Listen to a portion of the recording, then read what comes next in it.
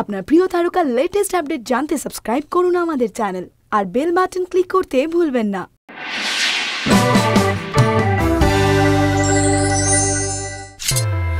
পেটের চিন্তায় কাটছে বারো মাস। বোরিং জীবন মজার অক্টোপাস সেই মজায় আমিও আছি। শব্দ থেকে মাছের ঝোল তারক থেকে যে কোনো চরিত্র।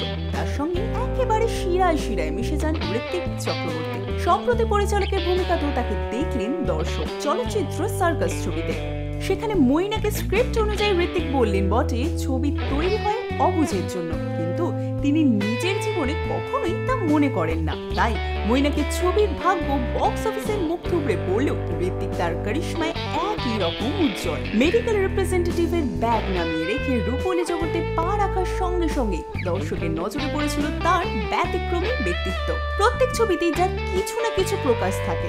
মৈনাক তার বিবাহ ডায়েরিসের লেটার মার্কসও নিয়ে গেছেন সেই ব্যতিক্রমের আলোতে ভর করে।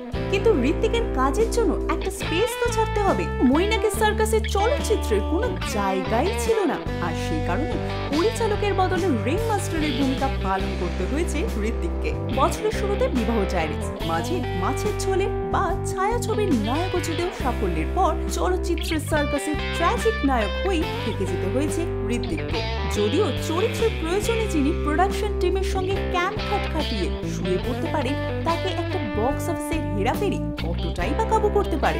আসলে এতদিনে প্রায় সব পরিচালকই ঋত্বিককে চিনে গিয়েছেন। তারা জানেন, চরিত্র নির্ভর নিজেকে আমূল বদলে ফেলার ক্ষমতা যদি টলিগঞ্জে একজন দুজন অভিনেতার থেকে থাকে, ঋত্বিক চক্রবর্তী তাদের মধ্যে অন্যতম।